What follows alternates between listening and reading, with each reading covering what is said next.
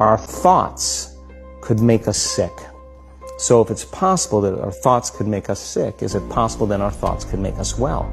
The answer is absolutely yes.